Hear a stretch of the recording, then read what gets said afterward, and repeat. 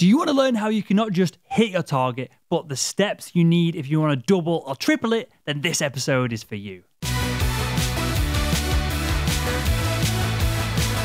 Hello, Sales Nation, and welcome to today's episode of the Sales Man podcast. On today's show, we have Mark Donnolo. He is the author of Essential Account Planning, and that is exactly what we're diving into today. Now, account planning, it sounds somewhat dry. We all should be doing it. Perhaps we're not doing it as well as what we could do. Mark turns all of this on its head. I promise you, there's a ton of value in this episode. Everything that we talk about is available in the show notes over at salesmanpodcast.com. With all that said, let's jump straight in. Mark, welcome to the Salesman Podcast. Thank you, Will. Glad to be here. I'm glad to have you on, mate. Today we're going to dive into a topic which I think it might not be the most exciting thing that the audience have clicked on on these episodes, but it's probably the thing if you're in a complex B2B sale that's going to earn you more money than anything else. you can give me your thoughts on this in a second, but to, to tee things up, why do we need to strategically plan our accounts in B2B sales rather than what we tend to do, or what I've found myself tend to do when I've not planned accounts, which is fighting fires all day, being reactive to things, and just selling by the seat of my pants. We, you know, I would say this is actually a very exciting topic, Will, and, and, and I think the reason is because it can make our lives a lot easier. And and you know, I've I've lived exactly what you're describing, which is, you know, selling by the seat of your pants. And and uh, I think salespeople inherently love to be out in front of the customer. Uh, they love to sell. They love the action. Uh, what they don't love is they don't love uh, sitting down and planning, strategizing, trying to figure things out uh, in a conference room. They'd rather be out uh, in front of the customer. And I think that's one of the things that makes account planning hard. But you know, one of the lessons that you learn is when you're in those positions, those precarious positions where you're coming up to the end of the quarter or you're coming up to the end of the year and you're not at goal or you're not where you need to be and you don't have the pipeline that you need to have in order to get there and you're not quite sure where those next deals are going to come from. Those are kind of the clarifying times where you go gosh i probably should have done a better job planning this out. So uh, I, think that the point is if we're planful we can actually perform a lot better make our lives a lot easier and a lot better as well.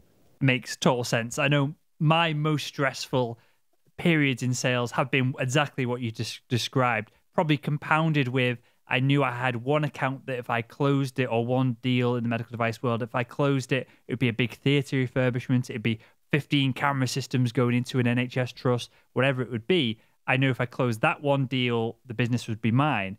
But I, found myself in this scenario many years in the, in a row of I had this one big deal. My target would be crushed if I hit it, but I wasn't sure if I was ever going to hit it. And I didn't have a, a backup plan. There was no. That's probably the best way to describe it. There was no backup plan to this deal not coming in.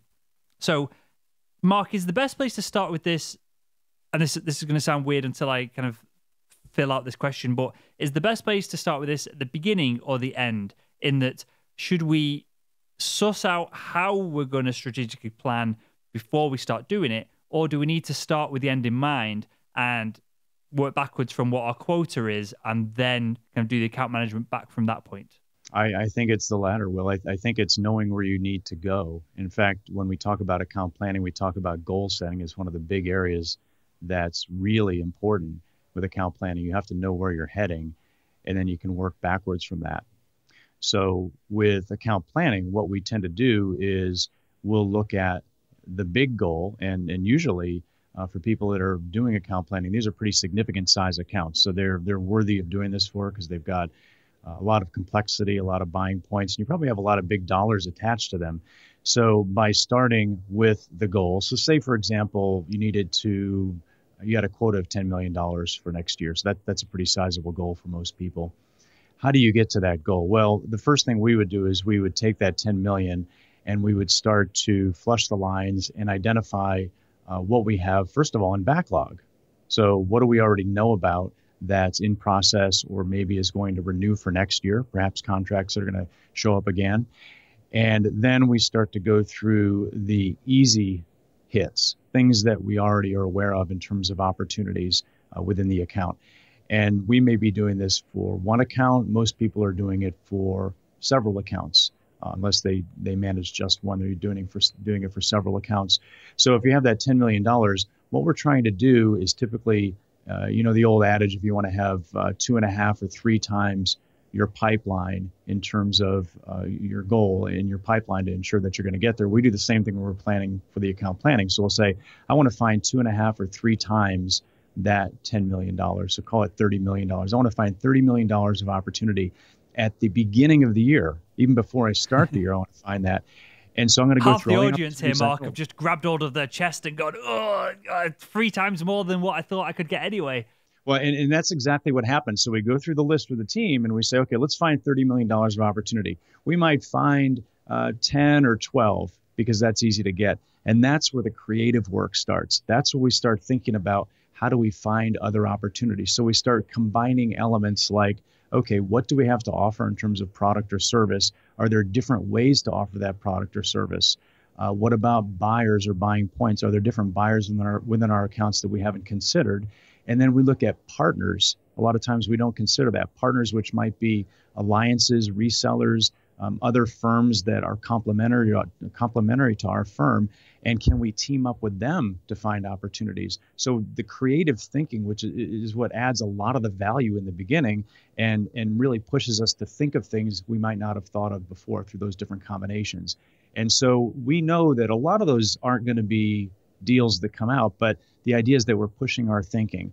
And we want to find, if we're looking for $30 million, we want to find some chunky deals as well. So if we're finding things that are, you know, $500,000 or uh, $300,000, we want to start finding chunks that are a million, two million, three million dollar chunks. We want to start pushing uh, beyond what we would normally look for, and that's going to start to unleash some ideas we w- wouldn't have had before. So that's a good place to start. Perfect. I'm getting real practical about this, knowing that most of the audience are B2B sales professionals. There's a whole bunch of sales managers and leaders who listen as well, but I tend to I tend to speak to them kind of around the houses through a conversation to B2B salespeople. If you so just coincidentally, someone listening to the show now, Sam is listening to this show, Sam the salesman, and he his quota starts in a month's time. So Perhaps he's hit quota already, he's a month ahead of himself, he's got a month to plan for the next 12 month period and say his goal is 10 million to keep that round number. Is this a sit down with management leadership and plan through it? Is this something that you sit on your own? You spend a weekend going through it? Is this something that you do once at the beginning of the year, plan it out perfectly, and then don't think about it for 12 months until next uh, the, your next quota comes around? How do we implement this from a physical sitting behind a desk in a pen and paper perspective? You don't want to go it alone. I know some people have to because they work independently, but ultimately, I mean you really want to have a team that's working on this. So if I'm sales the sales Sam the salesman, I am probably going to have other people if I'm selling to large accounts, other people that may be working on those accounts as well, other account managers, other salespeople. So I probably want to pull those people in. Uh, if we're selling uh, technology products uh, or you know medical devices, I may want to pull specialists in who are uh, the SMEs, the subject matter experts that might be helping me. Uh, I probably want to pull in my manager at some point. Uh, and the idea behind that is that we're not doing this in isolation. We're doing this with a team because people are going to bring different perspectives in terms of how we're going to get to this objective. So I think the way you should think about it is anybody that has a vested interest in that goal that you have should be in the room with you, helping you to plan that account or plan that goal. This doesn't have to be a long, laborious session. It really can be uh, what we think of as a brain trust. We get people together and we do some real brain work around that idea generation. So you don't want to go it alone. You don't want to do it one time either. So, yes, you want to do it as you prepare for the start of the year. But I think one of the big pitfalls in account planning is people do exactly that. They do it once at the beginning of the year they put it away because I did the account planning. I met that requirement. Uh, I did the presentation to my bosses. They gave me the okay. I'm going to put that away and I'm going to go get on with business now. So, and then I don't look at it until next year and I go, oh, that's interesting. You know, I said I was going to do uh, mm. these meetings with, with these executives and I never did that. And so it has to be a living process. So you want to be looking at it on a regular basis. Could be monthly, could be quarterly, depending on your sales cycle, but you want to have those check in points. So the idea of process and making it a living process is extremely important uh, for a few reasons. One is that it keeps it top of mind and, and we're uh, remembering what we said we were going to do.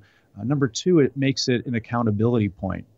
And you know, uh, Will, if you if you tell somebody that you've got a goal and you're going to do certain things to accomplish that goal, just by telling them that or by documenting that, it makes it more likely that you're going to do it because they're going to have a checkpoint with you and you're going to say, Well, did you do this? And you're going to go, Oh gosh, I've got to get ready and make that happen. So it builds accountability to have those checkpoints throughout the year. So you don't want to put it away, you want to make it a recurring living process. And, and just to double down that for a second before we drill into what account plans look like on paper or on a screen should we be then and this again might strike fear into some of the audience of getting the management and the essentially the boss or um, key account people within the organization that they're trying to get into on board with this should we be setting dates for this should there be not just i'm going to close this account within the year it's going to be i'm going to speak to this person before this we're going to strategize on this we're going to have this meeting before then is that something that's going into these plans as well to increase accountability from all angles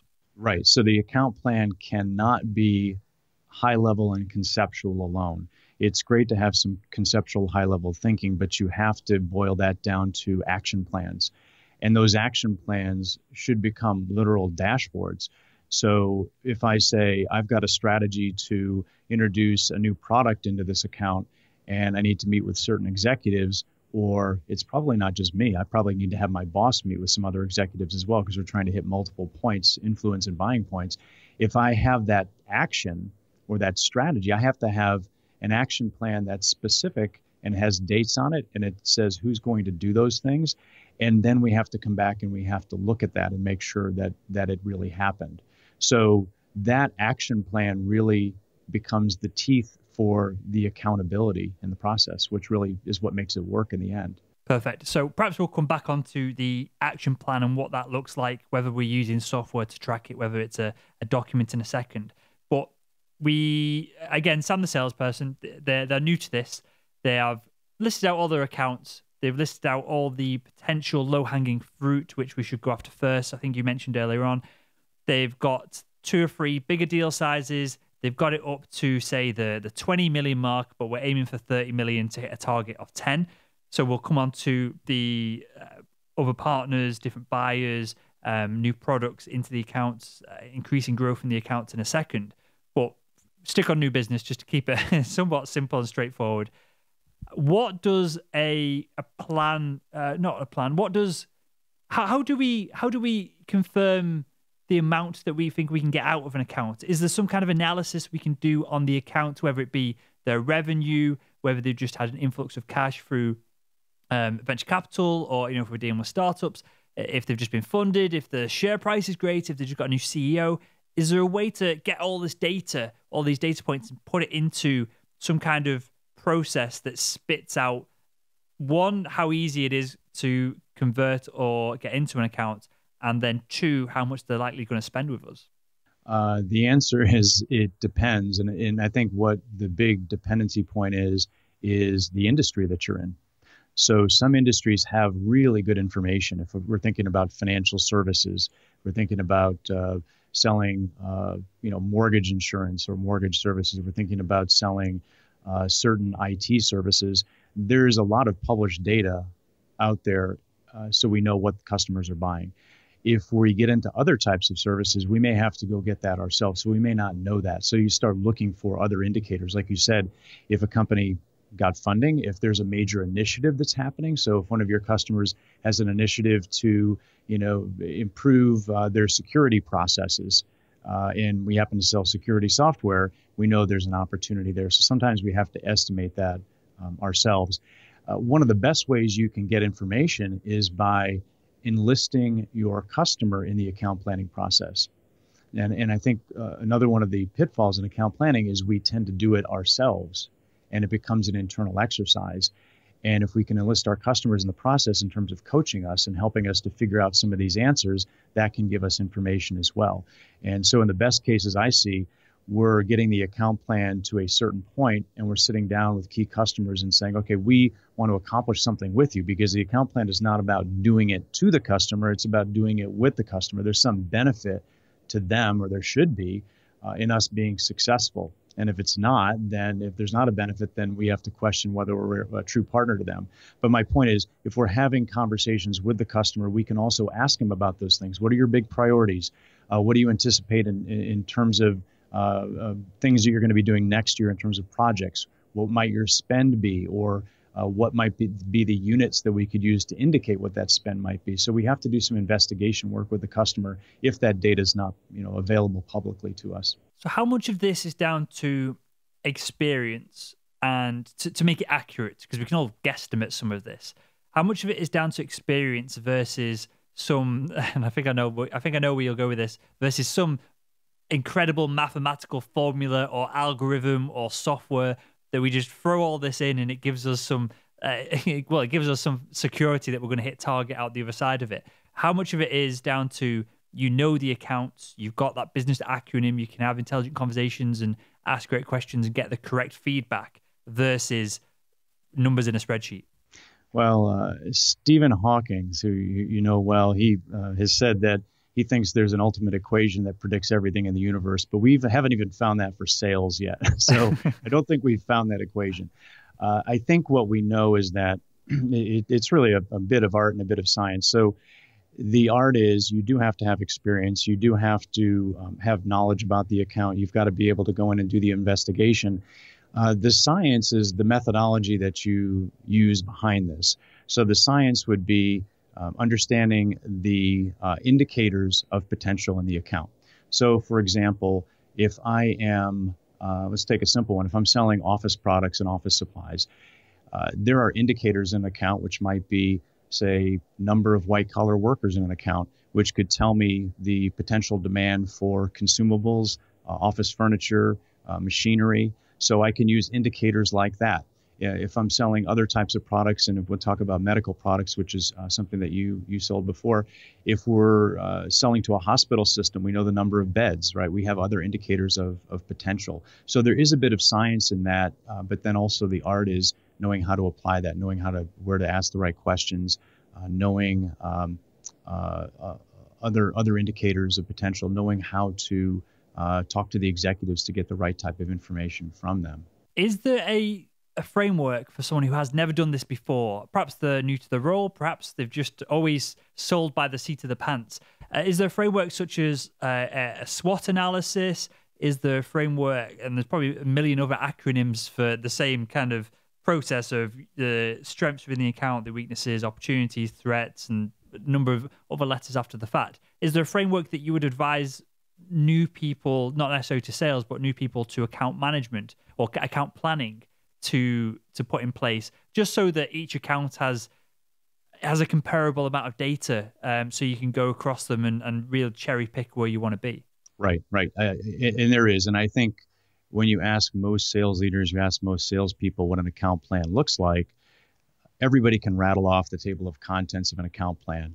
Uh, my whole point is make sure that it's comprehensive, make sure you've got the right components in it, make sure that it's specific enough uh, and not too high level. Make sure that you're doing it uh, the same way across all of your accounts so that you can have those bases for comparison. So, if I break it down into the pieces, the you mentioned SWOT analysis. That's really one of the first parts of the account plan, which is the profile and position. And we go into uh, all this in the book, Essential Account Planning. We go into the components, we go into the process, we go into uh, the different types of techniques you use. But if you think about the profile and position, that's going to include what's going on with the account right now.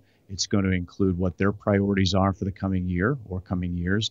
It's going to include our position in the account. So that's your SWOT analysis. So where are our strengths and weaknesses and opportunities and threats?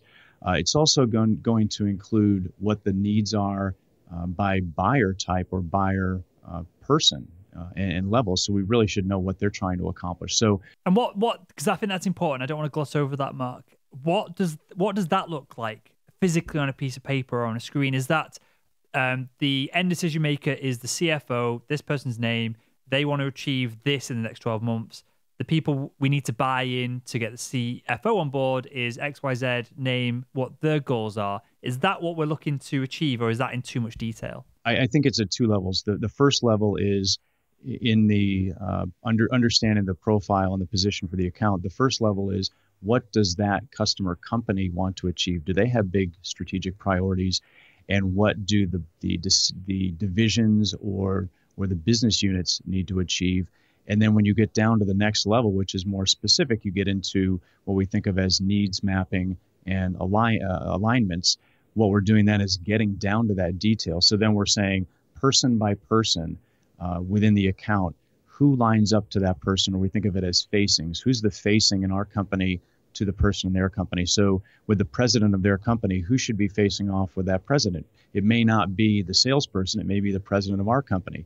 Uh, but with the president of their company, with the vice president, with the head of engineering, whoever the buyers are, we need to understand what their particular needs are, what their particular priorities are. So I want to know what they buy, and I also want to know what they're trying to accomplish. And by doing that, we then know what we have to do in terms of our messaging to them. So we do have to get specific. Uh, what that looks like, basically, if you can uh, kind of envision it, uh, you would have, um, you know, as almost as a spreadsheet, you would have the name of the buyer, you would have what their position is, you would have who the alignment point is, so who within our company aligns to them. Uh, you would understand what their top needs are or what what they need to accomplish to be successful. Uh, you would also understand what their level of purchase is and what they might buy as well. And then you would also have the actions or priorities that we have for that person uh, for, for, each person in our account. So what we should be doing. So it, it does get very specific, and then that ultimately converts into that action plan. So you do have to get down to that level people within accounts, as you know, will people within accounts are the ones that make decisions. The company doesn't make a decision usually; it's people. So if we understand what they're looking for and we really are thoughtful about it, then it's going to make us a, a lot more successful in, in meeting their needs. I love this because inadvertently you've taken some of the pressure off the audience here.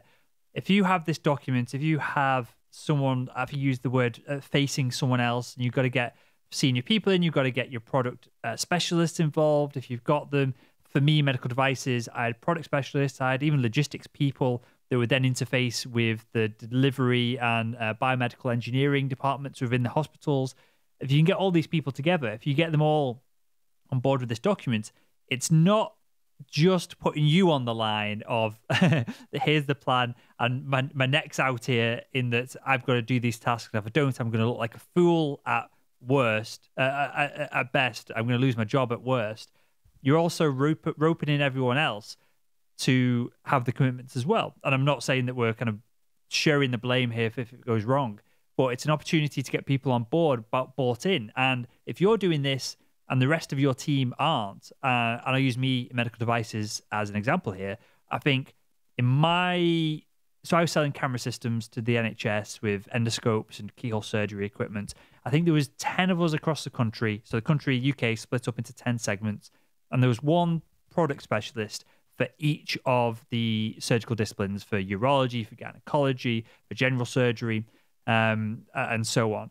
So they would be split across everyone uh, across the country. Luckily for me, the urologist lived kind of an hour away um, gynecologist girl lived quite close as well. So they would be just on my patch because it was easier for them to visit my customers than it was anyone else's.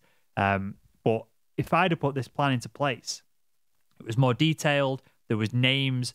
There was because I, I, I, I'm I'm digesting this as we go through it. This is awesome. So one, you you if you get names, numbers, faces, times, dates, um, commitment points in a document like this, and you get everyone on board, you can almost then leave them to it to go about their day and and speak to these individuals from a product specialist perspective.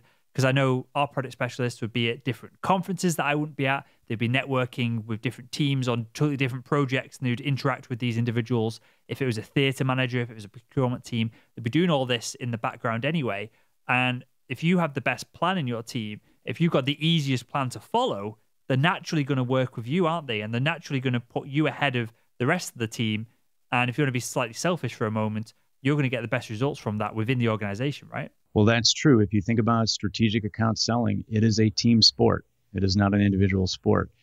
And uh, if you think about, uh, I'm a big uh, fan of college basketball in the U.S., and there are four teams that consistently are at the top in terms of most uh, Final Four appearances in the NCAA, uh, most uh, tournament championships, uh, one of those teams is UNC Chapel Hill, my alma mater. Well, Michael Jordan was a great player for UNC Chapel Hill, but he did not play it as an, as an individual, and uh, he played as a team. And there's a reason that team keeps showing up at the top year after year. Uh, it's not because of the players. It's not because of the coach. We've had uh, several coaches over the over the decades. It's because of the system. So there's a whole system that they they use, and that's why they're always at the top. And, and there there are a handful of teams like that. So if we're approaching it as a team sport, if we're approaching it as a system, and we're doing it in a planful way, then we're not going to be you know down by 10 points with two minutes left in the game, which uh, you know, sadly happens a lot in sales. We're trying to pull rabbits out of hats, and that, and that doesn't work. and then you get into weird conversations. The desperation comes across, whether you're on the phone, whether you're in person. You perhaps make deals, you have conversations that you wouldn't have done otherwise. This is where you get into the word weird world of sales 20 years ago when influence and manipulation are kind of going next to each other because you want that holiday and you've got to get your target to, to get it. I think planning ahead allows you to make better decisions and allows you to be. Um, you know, I don't think we need to dive into too much in the moral compass side of things, but I think it allows you to be happier about the work that you're doing. So we put all this together, Mark. Everyone's agreed. Perhaps we've not got it in front of the customers. We've not taken action on this yet, and that's the next step. So we're going to do that for uh, you know week, two week, a month. How often do we need to revisit this document? Because I think your words were it's a living document um, earlier on how often do we need to revisit it? And do we need some kind of project management software? Is that dependent on the number of deals, the size and the number of people are involved? Or, or can this be done through an email chain that goes out every kind of few weeks? Uh, I think in terms of the timing, the most common and, and, probably the most successful is quarterly, quarterly updates. So we're doing the plan at the beginning of the year. We're having quarterly checkpoints that also is a good point for us to be able to have uh, quarterly business reviews with our customer. So customers love QBRs. So if we can do that business review with them and they're actually part of the account plan, that that syncs up nicely as well. Uh, software is important. I think the first software is probably the software in people's heads. It's people in terms of making sure that we have the right habits. So we need to put the habits in place in terms of being able to create an action plan that's visible to everyone. Uh, we need to have, put the habit in place in some organizations of having an account planning czar.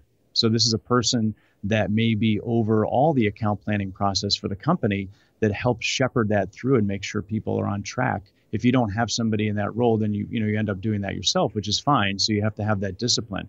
The software, um, yes, I, I think that does help. So the traditional account planning process is we put it all together in PowerPoint, and it becomes this big laborious job. And then we get up, we do the presentation, and it's you know it's it's 50 slides or, or wherever we come up, and it, it's way too much detail. And every time uh, the management team reviews the account plans, they're looking at a different format from every team, and so so we're kind of stuck in the world of PowerPoint. Well, we want to get out of that. So if we can do something online in the cloud in terms of and you can do this off of some of the crm systems if you can have an account planning pro your account planning process online uh, in your CRM system, then everybody's able to collaborate online to to see that. And one of the key components is, as I said, this action plan, so we can see, we can literally use that as a dashboard and see where we are and where we're tracking. And that, when we get to the the quarterly business reviews, that's the piece that we should be looking at. We should be looking at what we said we were going to do, and are we on track, and do we need to make any course corrections as we're moving uh, through the game. Uh, so uh, that that uh, software is a is a critical piece. Uh, I will also say you can't do it all virtually. So we have wonderful tools available in terms of uh, web conferencing and collaboration, uh, video collaboration software. There is a lot of value, uh, particularly if it's a large account, to get people in a room together and work on the initial planning. Uh, you get much more interaction, you get much more collaboration. It creates more pressure in terms of how we're going to find three times our goal. It creates more creativity. It also doesn't allow people to multitask, which they will do if, if you try to do it virtually. So again, best practice, the best one, best uh, companies I see, they will go to the to the expense of getting everybody in a room at least once a year to do their initial planning. Makes total sense. You said something then, and my ears pricked up, my eyes opened as you said it, and that is habits.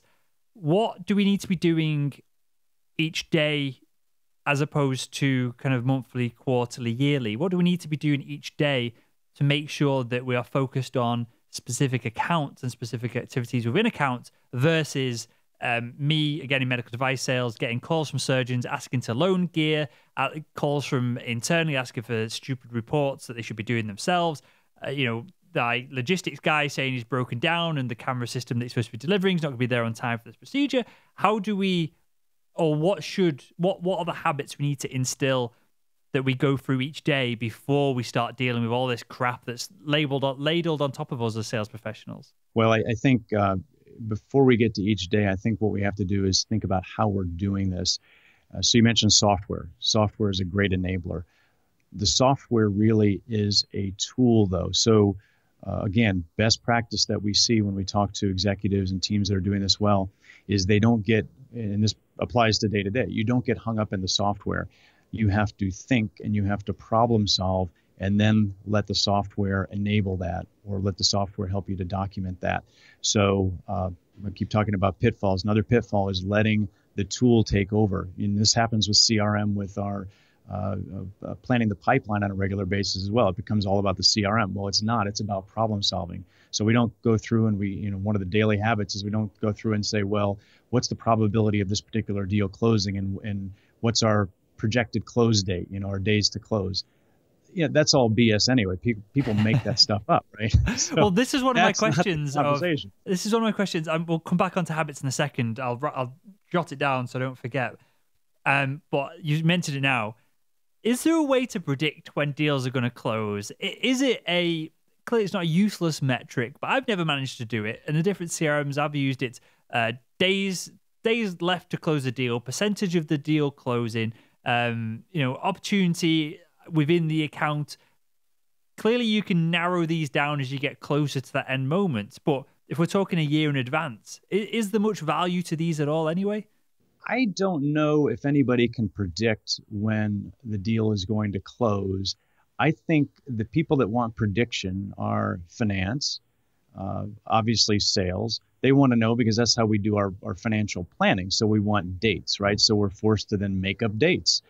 What we can affect, though, is we can affect the probability uh, by doing better problem solving, working with the right people, getting the right value proposition. And we can also affect urgency to some degree by knowing how to keep the process moving along, by being responsive, uh, by uh, getting to the answer as efficiently as possible, faster than our competitors. Now, you can't make a customer buy before they're ready to buy or make that decision before they're ready to make that decision. You can in some transactional environments, but in a major account environment, you really can't do that. So I, I think we can affect urgency to some degree, though, but I, I've, I don't think we can be, I don't think we can nail dates. I think that's, you know, it's kind of like trying to, you know, uh, predict uh, stock prices. We just have that kind of skill usually. Because I, I know my experience with this is I'd set a date and then my sales manager would be ringing me two weeks before saying, How's it going? And we're nearly there. So I just put the date forward another three months and then forward another three months. And then the, the date starts kind of 2017 and ends up 2021. And perhaps the business comes in and it's worth it. But it's difficult to judge that lead time. And what I'm getting from this conversation is it's important to plan to track all of this because it allows us to reduce the deal time, but perhaps we don't know that end point, which is why we need the kind of 3x on our on our total target. And I, I interrupted you and derailed you there, Mark. Tell us more about the the habit side of things. And we need to shift the conversation a little bit as well. So in terms of habits, it's not the habit the, the conversation is not how many days to close and what's our close date. The that's only the first piece. The other important habit is okay, well, what can we do to advance this? What's the customer dealing with? Let's have a little brainstorming session to talk about possible ideas and angles and things that we can do maybe to, to help the customer out. We don't have enough of those creative problem solving conversations when we're looking at deal flow and we're looking at pipeline because we're doing it usually in desperation. We're doing it to try to meet some requirement. And the requirement should be about the customer. So let's, and, and, and I see this over and over. If we, you know, if you and I sit down and we start talking about the deal, sometimes we'll come up with stuff that I wouldn't have thought of myself and we'll engage other people that I might not have reached out to. And then things start to happen. And well, what about this partner? Or, you know, there's a guy we know in the account that maybe could give us some more information. So it's the create the creative piece that that that's really uh, important. So that that's one uh, habit. I think another one is accountability And this goes for the leader of the account team, and it also goes for the sales leader, which is demanding accountability. Uh, with account planning, too often, as I said before, what happens is we do the plan, we put it away, we pick it up again next year. The accountability says you have an account plan, you have a strategy, you have an action plan, and we're going to hold you accountable for uh, hitting those those milestones, for hitting those goals. It's not acceptable to just say, "Oh, well, that didn't work out." You you need to hit those those milestones, and doing those right type of activities does uh, result in performance. So uh, a lack of accountability is, is, a big issue. And that runs all the way to the top in a lot of sales organizations where the account planning is not a major priority. It's a, it's a rote exercise that people go through. So the account planning strategy has to be part of the sales strategy. And usually the chief sales officer is the one that's got to make that mandate and say, here's where it fits in, here's why it's important, and here's why it's unacceptable not to do it, and here's why we want to do it because it's going to make you successful. Uh, and, and I'll bring up one other habit, Will, which is uh, motivation. So people don't want to do this. You know, as we said before, people would rather be out selling. The motivational piece is in terms of incentive. So there should be uh, people should understand how their work and account planning lines up to their incentive program or the results of their incentive program, their commission program. So I'm actually going to get paid more if I do this. Uh, it also uh, aligns to uh, affirmation and reward. So when people are doing the right things, no, you don't get paid for everything that you do well, but you know we got that meeting, we built that relationship. There should be accolades. There should people should be recognized for that. So we have to have recognition around people accomplishing things within the account plan. And then regarding habits and also incentive, it's not just about the incentive that you're going to earn this year. It's about the incentive that you could earn and what it could do for your life and for your family next year, over the next three years, and the next five years. And as salespeople, we don't think long term. We're thinking a couple weeks ahead. So there's this idea of being aspirational. So when I'm doing account planning, I should not be doing it just for next year. I should be doing it looking out over the next three or five years.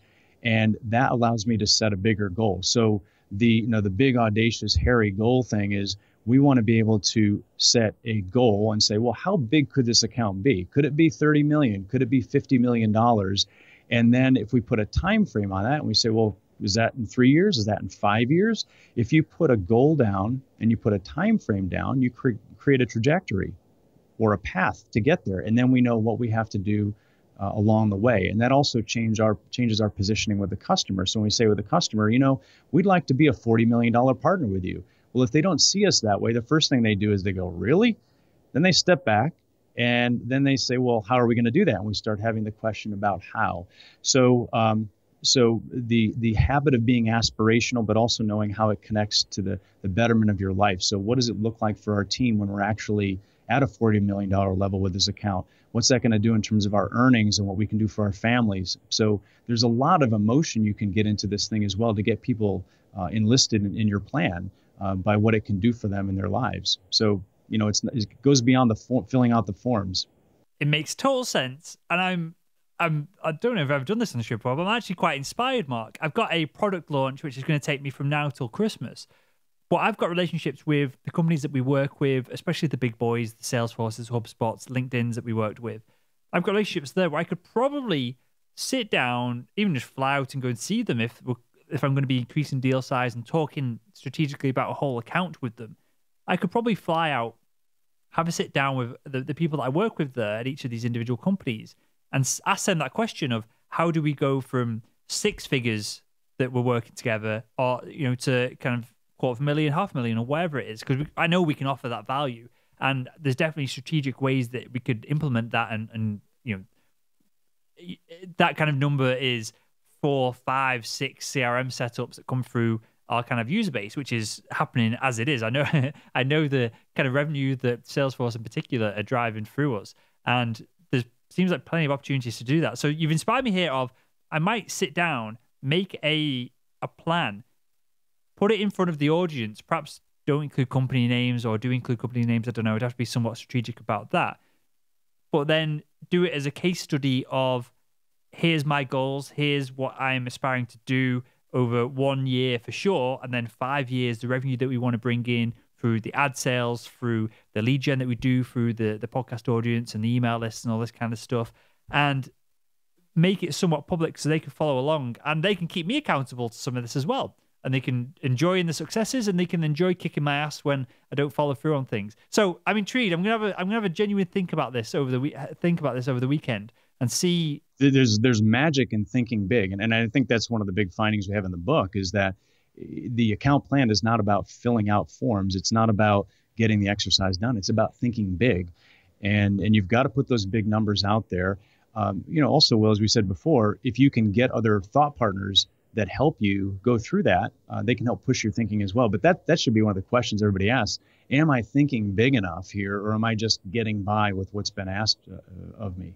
Makes total sense. With that, Mark, uh, I'm gonna have to wrap things up here because we could talk about this all day, mate. Because I'm pulling, I'm pulling information and, and, knowledge for myself, which hopefully is translating for the audience. But I've got one final question to ask everyone that comes on the show, and that is: if you could go back in time and speak to your younger self, what would be the one piece of advice you'd give him to help him become better at selling? I love that. I love that. Uh, I I think it would be. Uh, don't be so nervous and know that things are going to work out and, and, and enjoy the process. And I think a lot of times for type A people, we tend to push so hard that we don't enjoy the ride. And uh, uh, if I could tell my younger self that, just enjoy it and, and really uh, get yourself engaged in it, I, I think I would do that. Makes total sense. With that, you've hinted at the book. Tell us more about it, where we can find it, and then where we can find more about you as well, Mark. Great. Uh, well, the book is called Essential Account Planning. Uh, it is available on Amazon, and it goes into interviews uh, with with sales executives, uh, stories, uh, tools, process. It's got some workbook components, so it's a very usable guide. Uh, you can also um, learn more about us at salesglobe.com. You can find our, our blogs out there as well. And then, uh, depending on your interest, we have a couple of other books called The Innovative Sale, which is about creative problem solving for sales kind of left brain and right brain thinking, and then what your CEO needs to know about sales compensation, uh, which is about connecting the strategy to the front line through incentives. And those are all available on Amazon. Fantastic. Well, I will link to all of them in the show notes to this episode over at salesmanpodcast.com. And thank you, Mark, for obviously your the intelligent conversation you've had with us. Kind of, it's me throwing ridiculous questions at you and you pinging back useful answers. I appreciate that, mate. And the fact that I genuinely feel inspired to put something together for this, to document it, to share it with the audience, so they can they can see what's going right, what's going wrong. I think that's the accountability element of this could be really useful. So I appreciate that, and I want to thank you for joining us on the Salesman Podcast. Thank you, Will.